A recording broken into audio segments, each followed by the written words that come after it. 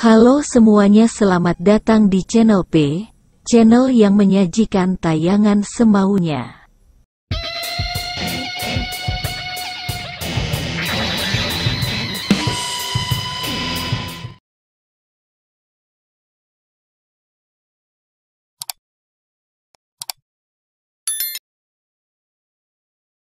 Baru-baru ini tersiar kabar dari perfilman tanah air bahwa film Sri Asih ditunda penayangannya.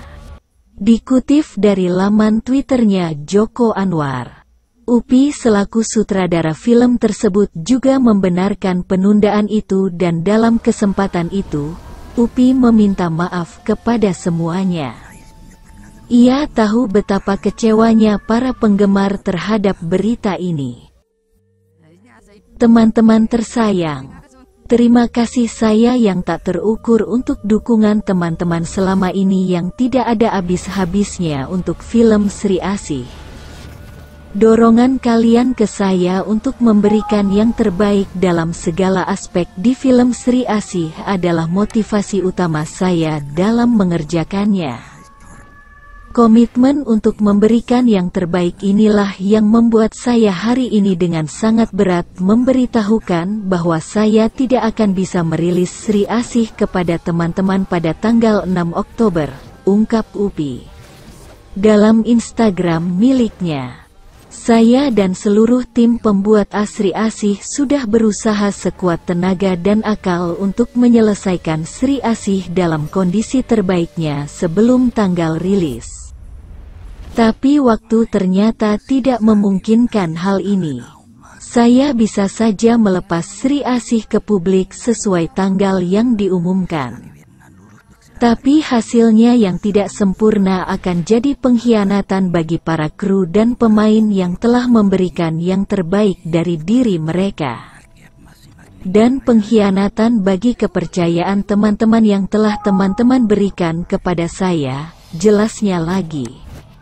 Maaf teman-teman ini adalah berita yang mengecewakan. Tapi teman-teman tentu akan lebih kecewa lagi jika melihat hasil yang tidak maksimal untuk sesuatu yang selama ini kalian anggap penting. Sri Asih akan mundur perilisannya ke tanggal 17 November tahun 2022. Tidak lama, tapi saya butuh waktu ini untuk memenuhi komitmen saya menyelesaikan film ini sebaik-baiknya. Para produser mendukung keputusan saya ini dan sekarang saya mengharapkan dukungan teman-teman. Saya akan melanjutkan pengerjaan Sri Asih. Dan dalam waktu yang tak lama, akan siap saya persembahkan kepada teman-teman dalam bentuk baiknya, untuk kita rayakan bersama, jelas Upi. Berita itu pun menuai banyak komentar dari para penggemar Sri Asi.